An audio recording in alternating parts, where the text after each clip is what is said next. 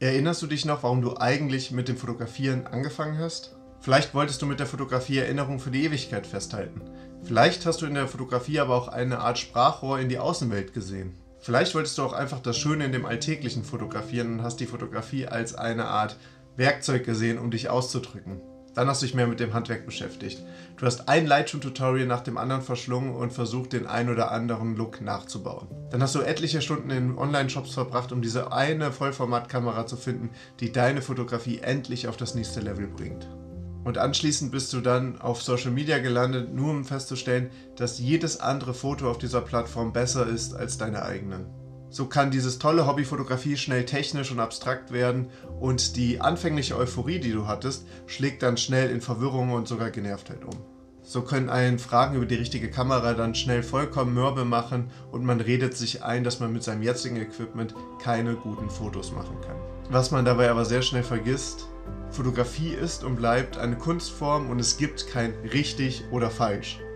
Natürlich darf und soll man sich über ein offenblendiges Objektiv freuen oder über 48 Megapixel, aber letztendlich bleibt die Kamera ein Werkzeug und am Ende liegt es an dir, dass du gute Fotos machst.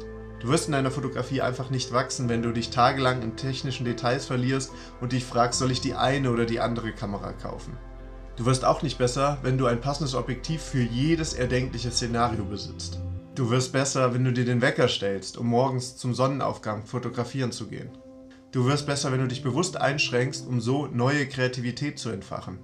Du wirst besser, wenn du jeden Tag auf dem Heimweg von der Arbeit Fotos machst, obwohl er auf dem ersten Blick sehr gewöhnlich aussieht. Du bist besser, wenn du dich regelmäßig aufrappelst, fotografieren zu gehen, obwohl in dir das Gefühl schlummert, gerade unkreativ zu sein. Du wirst besser, wenn du einfach an einem freien Nachmittag deine Kamera nimmst und losläufst.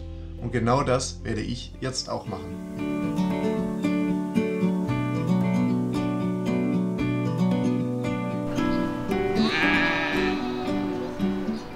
So, ich bin heute im Tierpark Saberburg unterwegs. Deswegen habe ich heute mal meinen Täler dabei. Ist eigentlich nicht so meine Brennweite, aber hier macht es natürlich Sinn, weil man sich die Motive ranholen kann. Die Gefahr dabei ist halt immer, dass man mit dem Teleobjektiv nur noch die Motive freistellt und gar nicht mehr in den Kontext setzt.